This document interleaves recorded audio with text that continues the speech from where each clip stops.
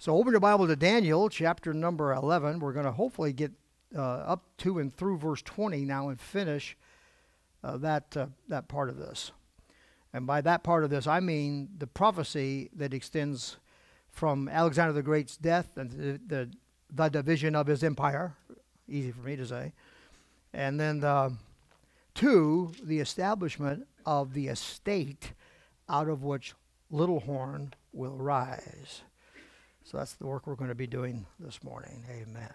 We're looking at that period that leads from Alexander's death, the division of his empire, to the establishment of the estate out of which Little Horn or man of sin will rise to power. And what's interesting about Daniel's prophecy is that he skips over from the beginning of the fourth kingdom, he skips over that all the way to the end of it. Now, you've heard me bring this observation out time and again, today you'll begin to appreciate the significance uh, of that. We pointed out that God identified the first king of the first kingdom, the first king of the second kingdom, the, the first king of the third kingdom, but he only talks about the last king of the fourth kingdom. It's like he skips over all the history of the fourth kingdom and focuses only at, at its end rather than at its beginning. Daniel's prophecy in Daniel 11 does the exact same thing. It skips over the fourth kingdom, at least all the way to the end of it. He takes us right up through close to the end of the third kingdom and then skips over and talks about the last king of that kingdom. The estate to the rise of Antichrist from 164 BC all the way to we don't know when. When the end of the fourth kingdom will come. But he skips over all of that history that you're seeing indicated on the on the chart there. All right? From toward the conclusion of the third kingdom, he skips over to the conclusion of the fourth kingdom it isn't even the case that he goes to the end of the third kingdom, and from therefore you would think it seems illogical in some ways, but it's not. It makes perfect sense, especially. And one of the one of the things that is important to understand here is that, from God's perspective, the movement from the third kingdom into the fourth kingdom is mysterious. He does that on purpose. It's secret. There's a secret behind it. There's a there's a secret in God's heart that causes this strange thing in the prophecy. You would think it'd be so clean. Why it's so clear so far. Nebuchadnezzar, Babylon, Cyrus, Persia, the horn, the first king, etc. Very clearly described, but not identified by name. But still, very clearly described first king of third kingdom. You get to the fourth kingdom, it's all messy. There's no clear ending of the third kingdom. There's no clear beginning for the fourth clear uh, kingdom. It's it's just vague. It's like it's it's almost as if there's some kind of a, a, a veil put over that little section, and it's fuzzy. then you get to the end of the fourth kingdom. It's all clear again. The prophecy speaks with great clarity and specificity. But that period from conclusion of third to beginning of fourth is very, very fuzzy. And that's because of a secret that God had. Now, you and I know that during the fourth kingdom, the churches are on the earth holding the keys of the kingdom. What that means begins to become more and more clear as we continue in our study together here. Um, and there is certainly a convergence in, in what we've been talking about for a while now about the dominion and all that stuff. There's a convergence of all these things because this whole thing with Babylon, Persia, it's all about the dominion going from one to the next to the next, and that's what it's about.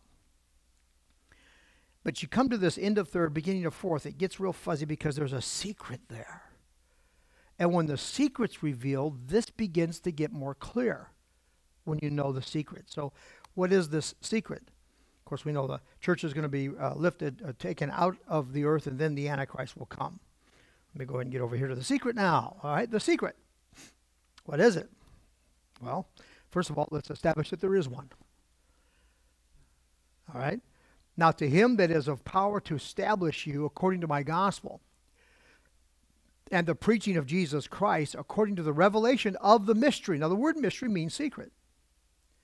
We tend to think of the word mystery as being somehow associated to something magical. That's a mistake. That's a pagan idea and a pagan understanding of the word mystery. when we talk about the word mystery, we mean secret. Of course, pagans use it that way too. But anyway, according to the revelation, now the word revelation means, well, you know, revelation. Something revealed, something shown, something presented, something exposed, something declared, something revealed. According to the revelation of the secret or mystery. And this secret or mystery was kept secret since the world began. So, from the foundation of the world, a secret was formed and then kept in God's heart for all that time until the revelation of the mystery, which happened in our day. By our day, I mean beginning with the entrance of Christ into the world. That's the beginning of the revelation of the mystery or the secret. So, Romans 16, verse 25 tells us that there is something called the mystery. There's a secret that's been kept in the heart of God all this time. What other event can you think of that occurred in God's mind or in God's heart from the foundation of the world? The cross. Jesus Christ, the Lamb slain from the foundation of the world. There's a relationship, there's a connection between these two things. The Lamb, remember, John the Baptist declared Jesus Christ by saying, Behold, the what? The Lamb of God. So this lamb that was slain from the foundation of the world was declared to have arrived by John the Baptist. And this secret that was kept from the foundation of the world is being revealed at that time. okay? so there is a secret, and it was revealed to the church. And what is the secret? Here it is. This is a great mystery. But I speak concerning Christ and the church. Now, the great mystery he's talking about in Ephesians 5 is the, is the union between the man and the woman to become one and all this, and the man's the head of the woman as Christ is the head of the church, and the woman is to Christ what is what the church is to the the woman is to the man, etc. You got it. Good. so that's the mystery. And so, and that's Christ and his church. So marriage is really a picture of Christ and the church, not the other way around. See? In any event, the point being that back in that beginning of the world era, Jesus Christ was determined to be and committed by God to be the lamb slain from the foundation of the world, and a secret was formed in his heart at that moment. And that secret that he treasured in his heart was the union between his son and the church. Wow. That was the secret. All right. The mystery of the seven stars, remember Revelation uh, 1, verse 19 and 20 here. Uh, Jesus Christ is presented at the end of the Bible as standing in the midst of the churches, the seven golden candlesticks, which represent the churches. And so verse 19 says, refers to it as the mystery. This word mystery. Mystery, mystery, mystery. The mystery that was kept in God's heart from the foundation of the world and revealed to us when Christ was presented, when Christ came into the world. And that mystery is Christ and the church. That's what the mystery is, the secret that was kept. He kept that a secret. What he's keeping secret is Christ coming into the world in flesh and redeeming to himself a people that would be joined to him as his church. That was the secret. And so the, at the end of the Bible, we read about this mystery, the secret of the seven stars and the seven golden candlesticks. The seven stars are the angels of the seven churches. It's about the church, you say. And the seven golden, and I'm sorry, and the seven candlesticks are the seven churches. So this mystery is about the churches. It's the mystery of Christ in us,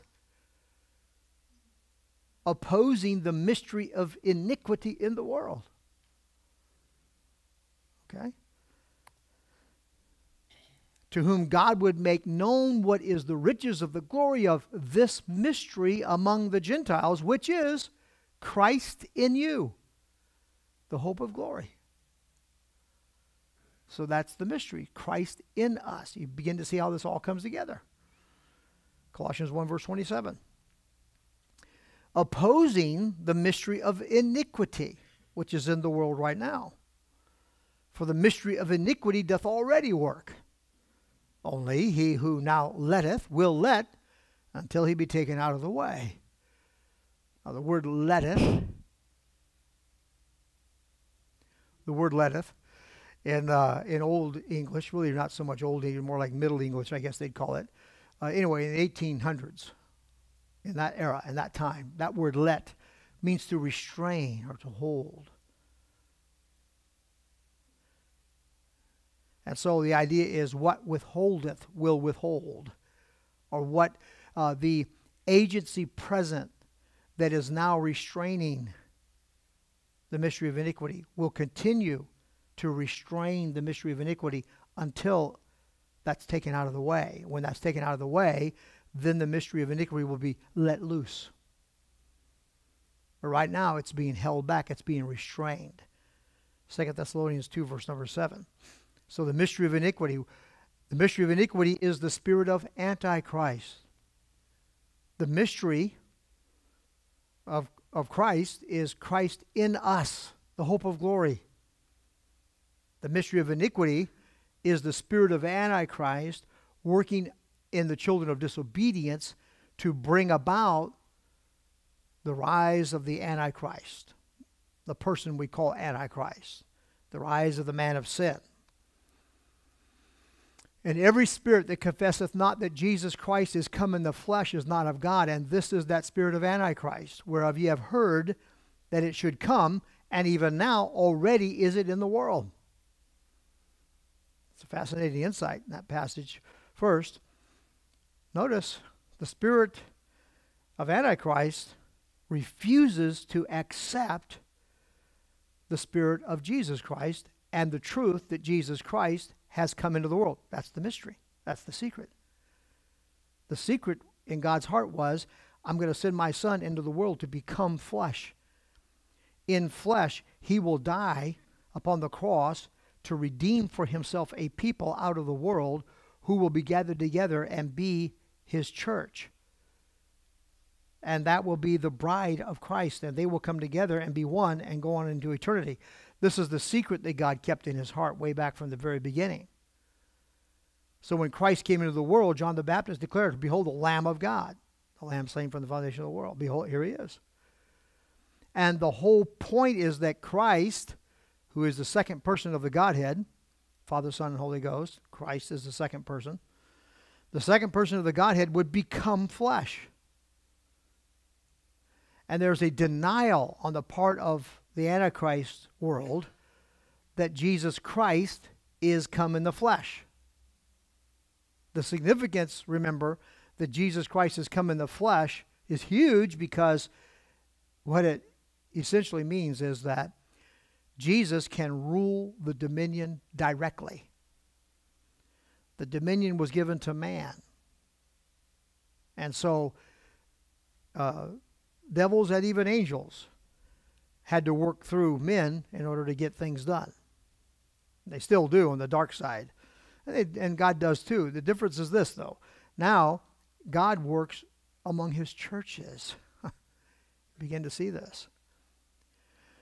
The reason that period, the transition from third to fourth, that whole period is so hard to see in prophecy is because God on purpose kept it secret. He put a shroud of secrecy around it. We only understand it when we are accepting the mystery revealed to us through the Word of God. He reveals to us these things, and that's what I've been giving. I've just been handing it to you, but now I'm kind of showing you a little more deeply where this is coming from and how this comes out of Scripture. All right? The fact is, the reason I call the fourth kingdom mystery is because that's the nearest thing you'll find in the Bible to describe it. It's mystery. It's about mystery. It's about the mystery of Christ in us and the mystery of iniquity in the world and the clash between those spirits and the war that's ongoing. That's what the fourth kingdom right now is all about. So it's called mystery. And it's fuzzy in there because God kept it secret so the devil could not know when the fourth kingdom was going to start. Nobody could know when the fourth kingdom was going to start. He didn't let that out of the bag. He didn't define a ruler by which we can mark the beginning of the fourth kingdom, unless you point to Antichrist. But we know he shows up at the end of the fourth kingdom, not at the beginning. Interesting, isn't it? What God kept secret was this He was going to send His Son into the world. His Son would come into the world and come in flesh. And being the Son of God, He would conquer Satan and take all the kingdoms of the world into His own power. And being the Son of Man, He would take the dominion from Adam's race to Himself. So now, the fourth kingdom, as it's constituted right now, is organized under Christ Jesus, and the keys of that kingdom are given to his churches. And we have the authority. Now, where it gets a little strange is trying to figure out how does that what does that mean in terms of practicality? I mean, does that mean that that we we go over to the White House, say, move out, we're going to move in. We go to Capitol Hill, move out, we're moving in. No, because we don't take the kingdom by force. It's ours, but we don't take it by force. We take it upon the declaration of God's word and God's truth. We use the sword of the Spirit. We fight against the lies of Satan. We try to expose men to the truth, and they have the chance to accept it or reject it. So, right now, what Jesus has done, he's risen from the dead, and he has said, All power is given unto me in heaven and in earth.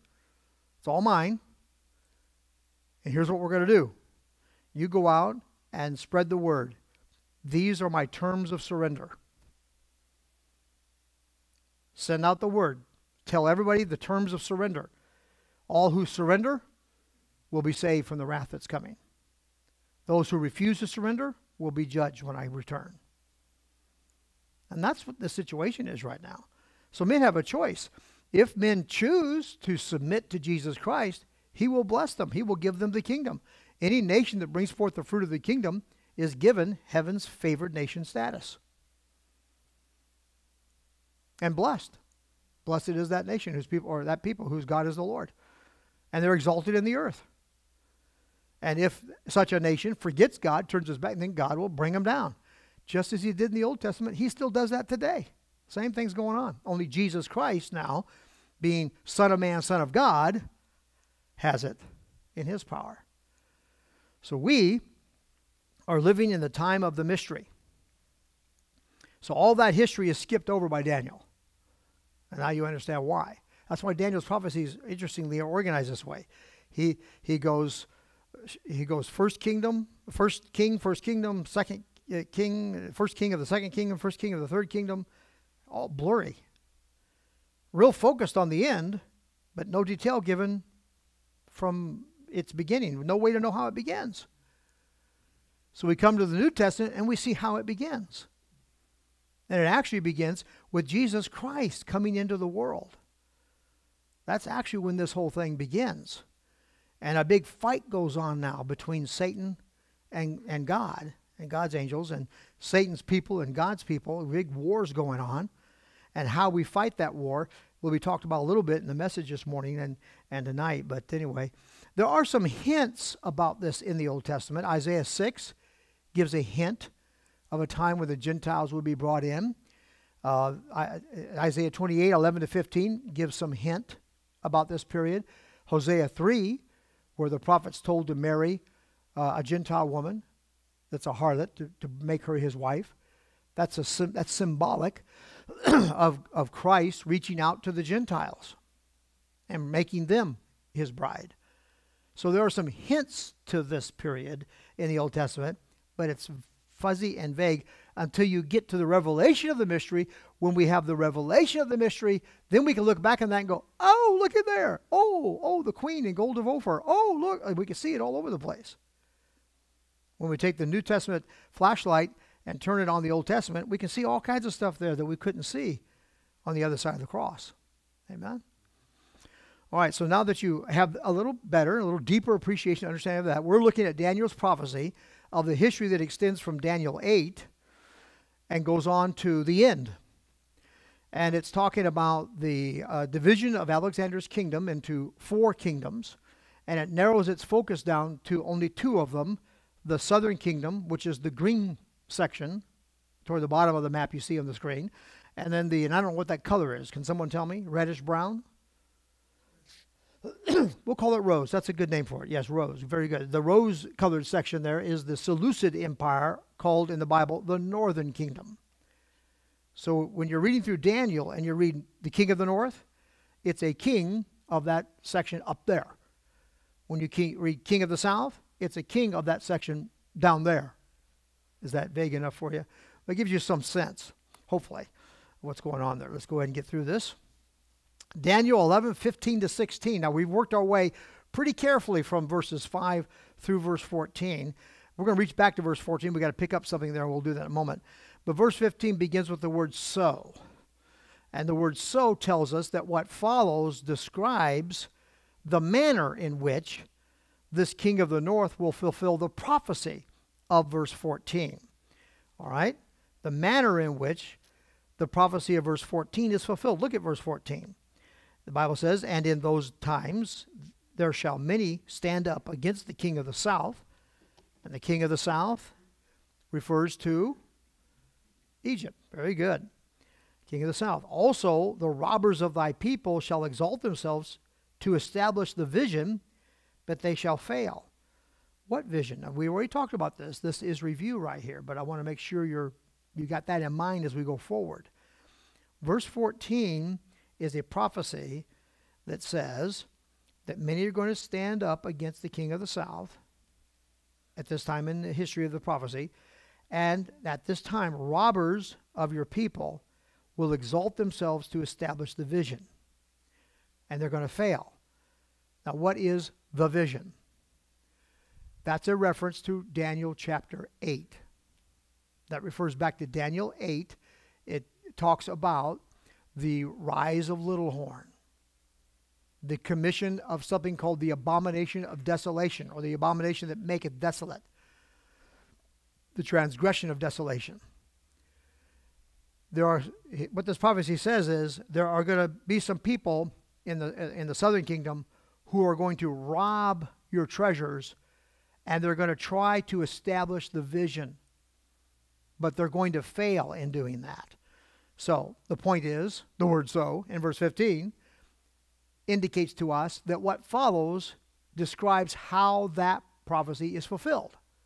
That's what's important about the word so in verse 15.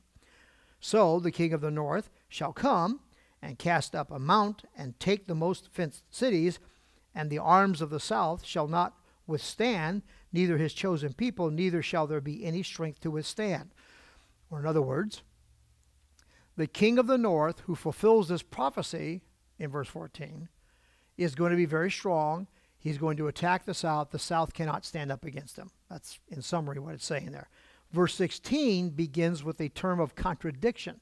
But, and that indicates that instead of the king of the south being able to withstand, in other words, he will not be able to withstand, but instead of that, here, this is the idea. All right? Uh, not be able to, the king of the north will do according to his own will, and none shall stand before him. Now, a colon follows the first clause. Now, I only go here when I think it's important to understand the development of thought in the passage. I mean, we could, there are insights to be had in following punctuation clearly all the way through it, but only when it's critical to what we need to what we need to understand this. Will I stop and do a little fourth grade grammar with you, okay? Amen. Joe was very grateful for that. Thank you, sir. Thank you, brother.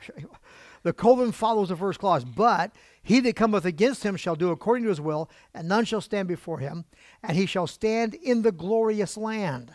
Daniel 11, 16. Now, what follows the colon then proceeds from the action described in the first clause. I Hope that makes sense to you. All right? So what follows the colon describes action that's that's or, or proceeds, excuse me, from action described in the first clause. I tried to clarify it, I made it more muddy. Sometimes it's better leave it alone. But anyway, tell me you follow you're following this so far so I can continue without it. Okay, good. Thank you. Four of us, we got it. That's enough. This means that his standing in the glorious land and setting his hand against it to consume it, that's what he did as part of his campaign against the king of the south. That becomes important to us in a moment, but that's why following that language and being careful about the colons and things is important. It helps you helps you sort this out correctly. So the point here is that this king who fulfills the prophecy of verse 14 is going to go about doing it in this way. He's going to want to attack Egypt. His interest in attacking Egypt is going to motivate him to take a stand in the glorious land and set his hand against it to consume it. And this is this he's going to do as uh, really with an interest toward Egypt, trying to take out Egypt completely. Now this fits the history of Antiochus' four Epiphanes perfectly. All right? Let's look at it. Antiochus IV. Now, he's the fellow most prophecy students know about. He's the guy that sacrificed a pig on the altar of the of the Jewish temple. He's the guy. So many people believe that was the abomination of desolation, spoken of by Daniel the prophet. He's the guy that called himself God. He called himself son of Zeus, like Alexander. He was trying to be Alexander, by the way. We'll see that more as we go. he called himself son of Zeus. He put a statue of Zeus in the holy place of the temple. And many people look at that and say, oh, that's the abomination of desolation spoken of by Daniel the prophet. Well, we got a lot of problems with that. The biggest problem we have with it is that Jesus comes along about 100, what, 60 some odd years later and tells us that that event, the abomination of desolation, is yet future. So, according to Jesus, what Antiochus did was not it. So, what is it that Antiochus did? He tried to establish the vision, but he failed. That's in verse 14. That's where Antiochus comes in. He fulfilled the prophecy of verse 14, not the prophecy that comes in later, beginning at verse, about, about verse 30, 36. So let's go ahead and take a look at this. All right, 171 BC. This king of the north, Antiochus IV, stood in the glorious land. The glorious land, by all accounts, is Jerusalem. He robbed the temple treasure. This is history, by the way. He robbed the temple treasure, which he used to finance his campaign against the king of Egypt. So it's interesting. You see, it fits the prophecy perfectly, is the point I'm laboring to establish. It fits the prophecy, not sort of, not kind of, not, hmm, look how close but dead on. In terms of his motivation, in terms of his actions, everything is there in the prophecy. Why he did it, what he did, it's all there. So he wanted to finance his campaign against Egypt. He wanted to get his hands on the treasure of uh, the Jerusalem temple in order to finance it. So he said his he took a stand in the glorious land and he robbed the temple treasure, just exactly what the prophecy said that he would do. He shall also set his face to enter with the strength of his whole kingdom and upright ones with him. So he's going to, after he does that, he's going to set his face, see, to just conquer the whole world kind of thing. and the Bible says he takes upright ones with him.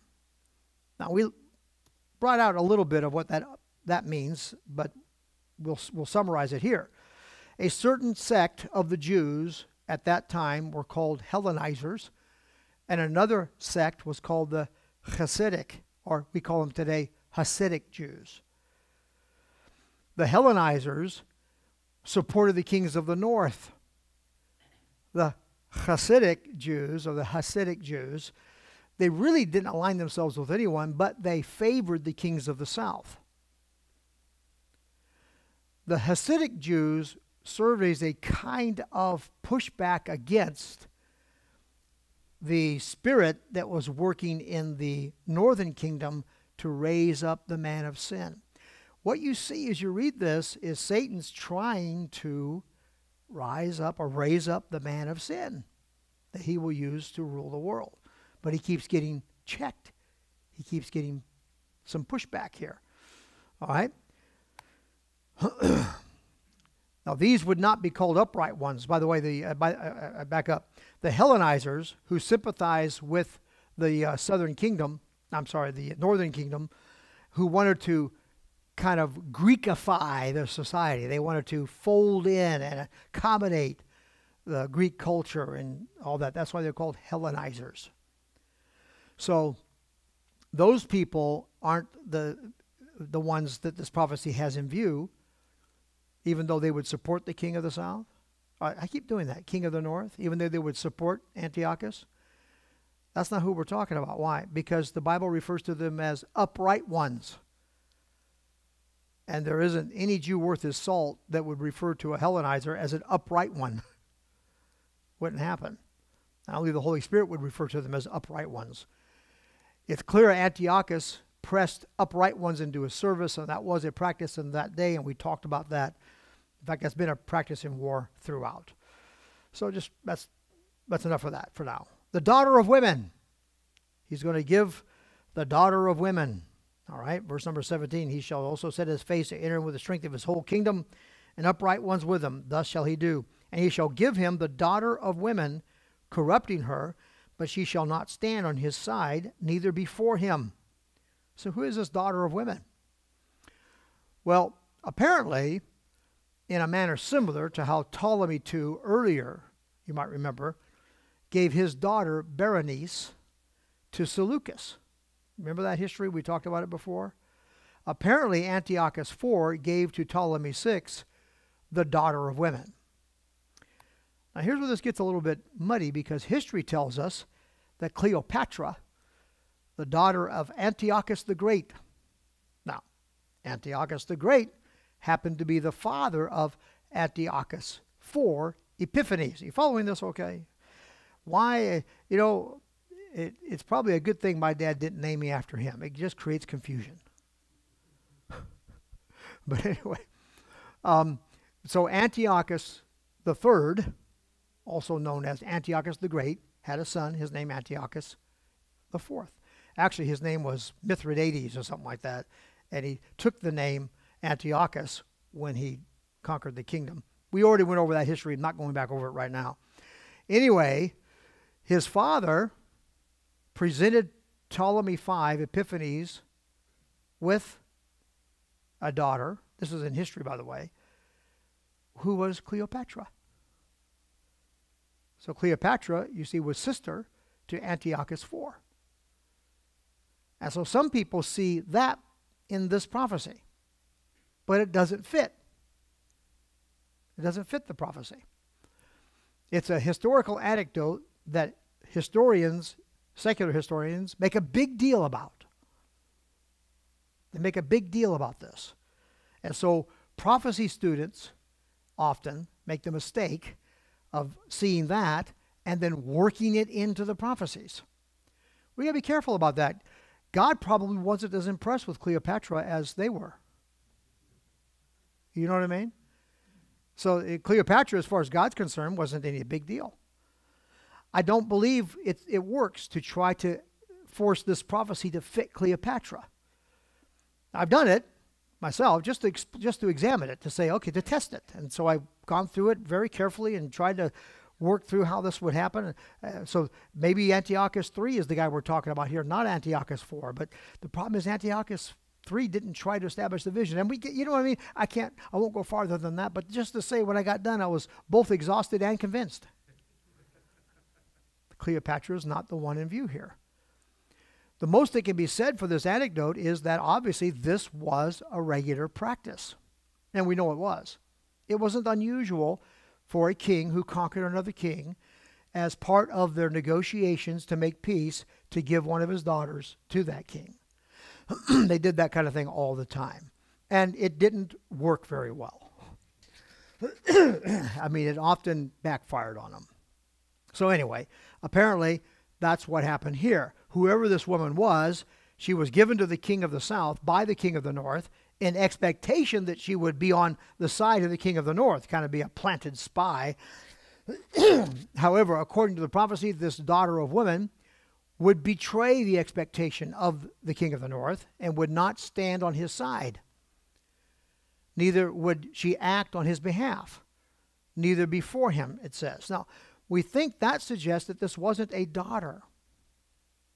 Remember when uh, uh, when Berenice was given to Ptolemy back in the day, Berenice didn't um, forsake or betray her father. Other events happened that created a big mess out of that, remember? When I said it didn't work, I, you know, the truth is sometimes it did work, right? Sometimes it worked.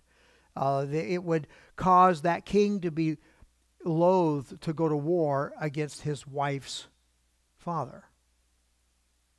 So it created a little bit of a check on that. And also, there was a kind of a ob- obvious and natural loyalty in the heart of that, that queen toward the father, who was the king of the other kingdom. And there was always the expectation, the motivation to maintain that marriage because out of that marriage could come a child that could rule both kingdoms and combine them. So that was the idea of it. so anyway, my point here is that this suggests to me that this wasn't his daughter. It was that's why it doesn't say as it did earlier, one of his daughters. It's it's talking about the daughter of women. So we don't know who that is. Who in the world is that? What's this daughter of women? Interesting enough, uh, that expression is nowhere else used in the Bible, and we have to do a lot of work to figure it. out. It's in my notes. You can go ahead and study that out and see. But I think it probably was uh, uh, a very beautiful woman that he took out of his kingdom and gave as a gift to this other king. I think that's probably what happened. You know, and it wasn't Cleopatra. Cleopatra didn't hold a candle to this girl.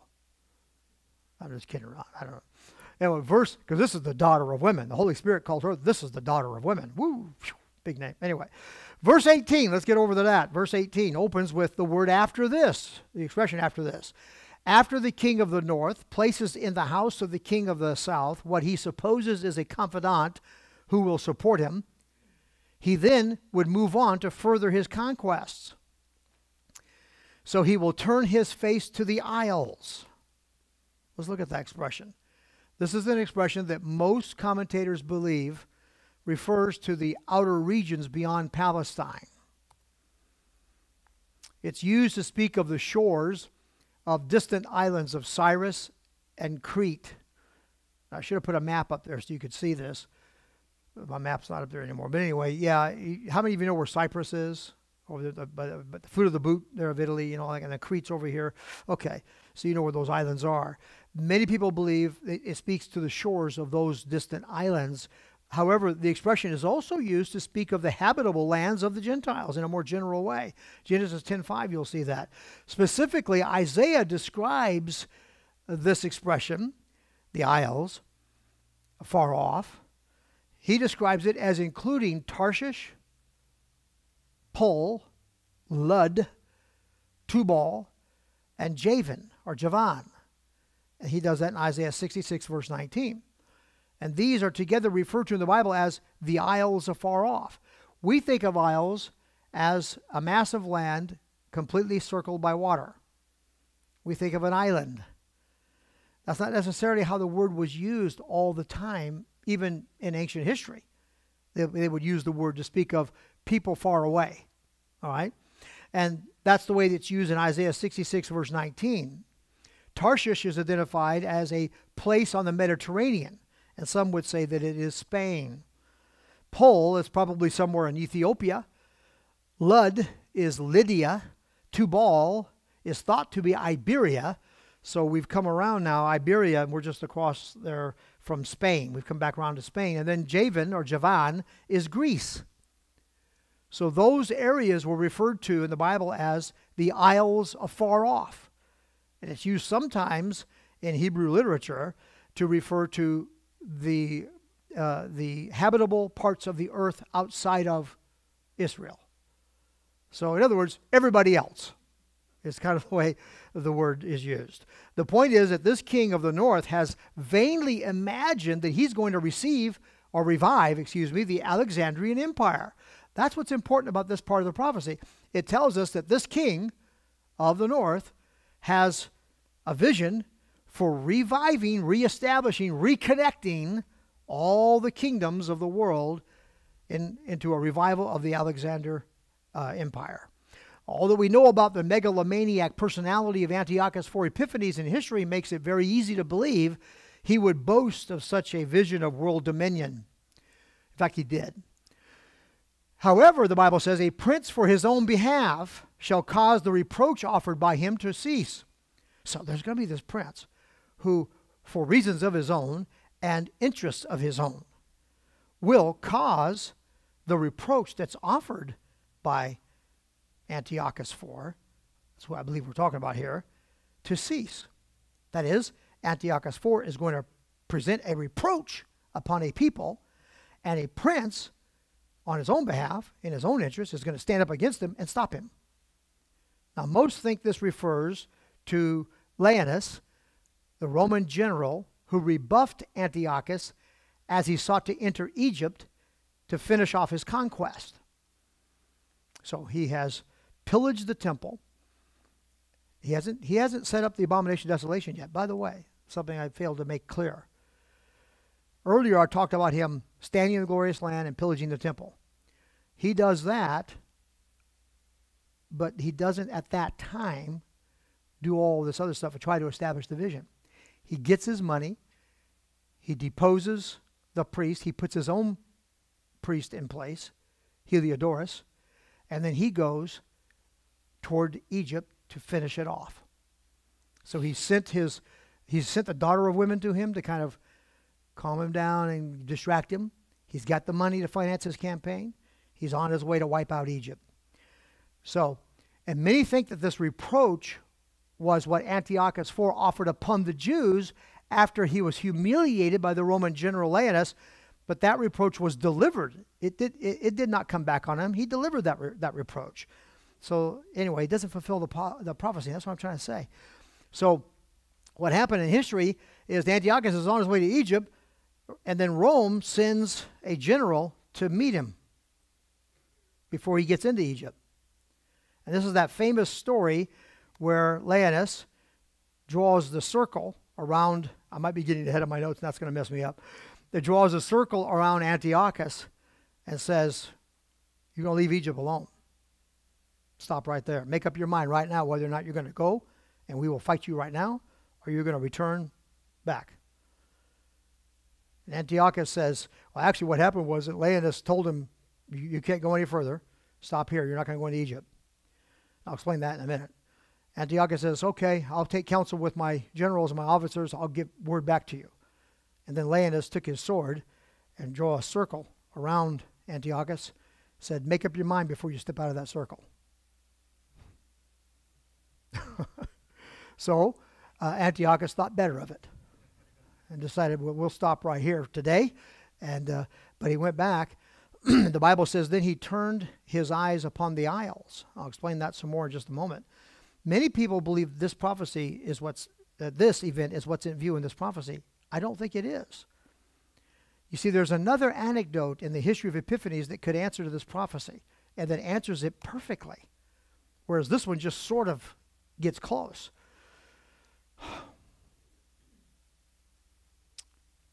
How about we start right here next week? And we don't do any of the front load stuff. Okay. Promise you. We won't do any of the front load stuff. We'll start right here, the estate established. You with me? Let's stand together, please. That's what we'll do.